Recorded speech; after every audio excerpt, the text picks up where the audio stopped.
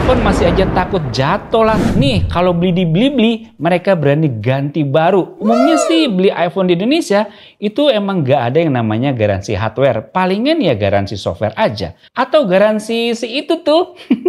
yang emang cuman garansinya terbatas aja. Eh sampai hari ini kita dikasih tahu sama Blibli kalau Blibli ngasih garansi hardware juga. Jadi perlindungan maksimal selama 12 bulan secara free alias gratis. Makanya saya langsung kepikiran bikin video ini sekalian jelasin kenapa sih iPhone masih tetap diminatin sampai sekarang ini. Rame ini belakangan lagi banyak bahas seri smartphone flagship killer. Nah ini juga ada dari Apple yang produknya udah 4-5 tahunan tapi masih banyak diminatin walau tanpa embel-embel apa pun. Yes, iPhone 11 nih guys. Dulu harganya pas baru muncul sekitar 12 sampai 13 juta. Sekarang cuma 6 jutaan aja. Emang bagus om? Yuk langsung aja kita bahas. Lego.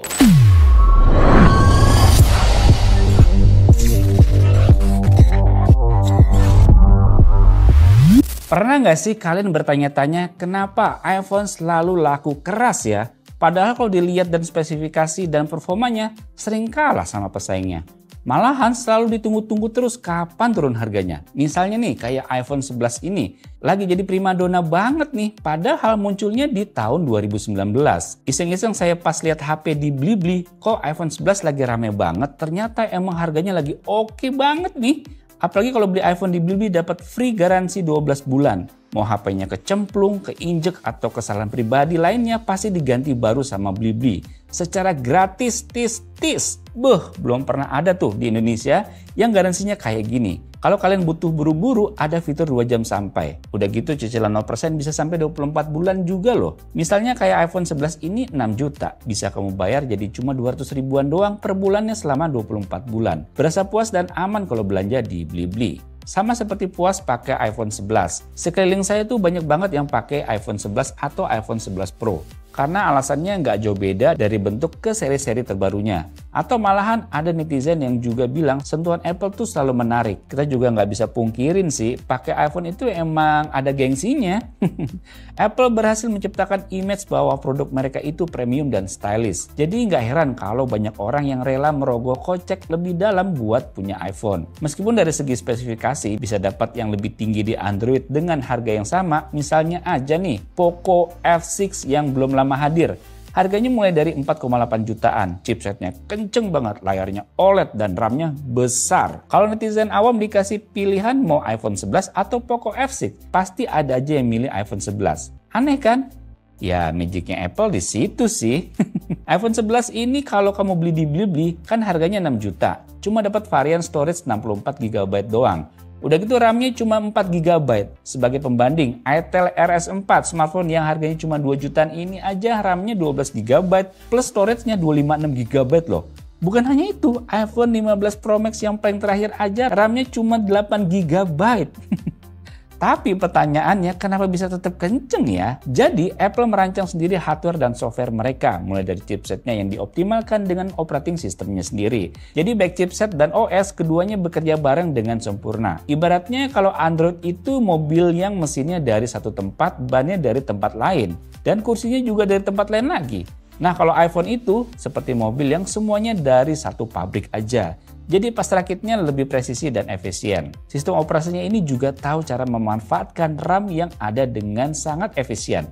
Misalnya, aplikasi yang lagi nggak dipakai bisa di freeze sementara, jadi nggak ngabisin banyak RAM. Makanya kenapa iPhone nggak banyak aplikasi yang running sewaktu kita pakai satu aplikasi aja. Ada plus minusnya lah ya. Salah satunya kita kalau mau upload story harus nungguin sampai bener ke upload dulu. Kalau enggak bisa lama uploadnya atau bahkan ke refresh aplikasinya. Dan yang utama juga, Apple ketat banget soal kualitas aplikasi di App Store. Aplikasi yang masuk harus memenuhi standar tertentu dan dioptimalkan buat jalan lancar di iPhone. Jadi itu alasan utama kenapa meskipun RAM-nya kecil tapi kok kenceng-kenceng aja dipakainya. Nah, dengan 6 juta sekarang di iPhone 11 kamu bakalan dapat apa sih? Pastinya dapat garansi dari Blibli gratis. Mau kesalahan pribadi yang bikin rusak fisik, Blibli bersedia ganti baru. Nah pasti pada nanya, kenapa Blibli berani banget? Garansinya beneran nggak tuh? Ya jelas berani karena Blibli itu Apple Authorized Reseller resminya Apple guys. Makanya kalau kalian beli online dari Blibli atau offline store-nya di Blibli, di Hello Store, Blibli Store, atau Tukar Tambah Store, kalian berhak dapetin garansi kerusakan fisik 12 bulan, gratis. Pastiin aja ada stiker Blibli kayak gini nih di boxnya. Jadi kalian nggak perlu ribet lagi mikirin jenis garansi Apple. Ada garansi Inter lah, garansi distributor lah, atau garansi si itulah.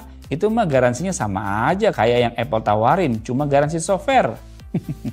Nah, kalau Blibli udah berani ngasih garansi hardware dengan langsung ganti baru secara gratis. Walaupun ini kesalahan kamu sendiri loh. Kalau udah lihat kayak begini, kayaknya garansi Blibli yang paling cakep ya.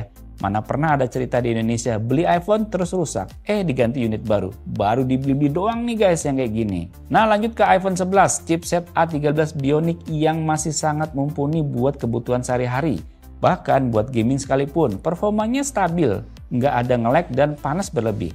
Baterainya juga tahan lama, bisa seharian penuh dengan penggunaan normal. Skor benchmarknya emang bagus banget pada masa itu ya, bahkan sampai sekarang pun juga masih tinggi sih hitungannya. Mulai dari Antutu benchmark skornya 896.989.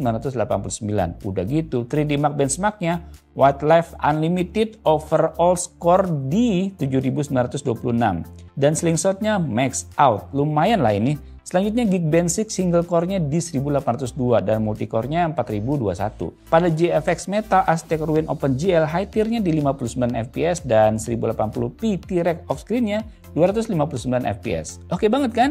Bahkan di kelas harga kisaran 5-6 juta masih banyak yang skor Antutu benchmark di bawah iPhone 11 ini. di tes main game juga asik banget loh dan kuat. Sekelas Genshin Impact aja masih bisa dimainin dengan lancar settingan high 60 fps pun juga nggak ada masalah sama sekali.